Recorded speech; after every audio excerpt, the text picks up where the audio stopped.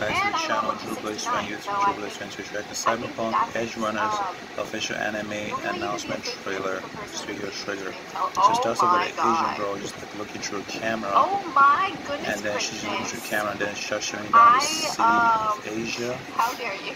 And then yeah, it just focuses on her. It looks like she's talking about what goes on. Thank you everyone for. Um, yeah, it shows the directors of the game, you know, people are part of it. like They just like giving you a brief experience and um, stuff. Like said, I think I'm gonna do like What do you guys think about it? Imashi Yoshiro has directed and directed that is bringing out Silent Result. This is coming in Um, or 2022, guys.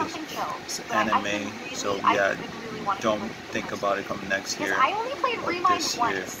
So I'm really excited for the anime. It's coming to Netflix, you know, it again. I need to. step by step, myself that I had um, to wait until I will be ready in 2020 for Hearts a 3, so- Cyberpunk game, and hopefully um, break was, break was most the next gen comes out on time I really appreciate for. Let's Blaze.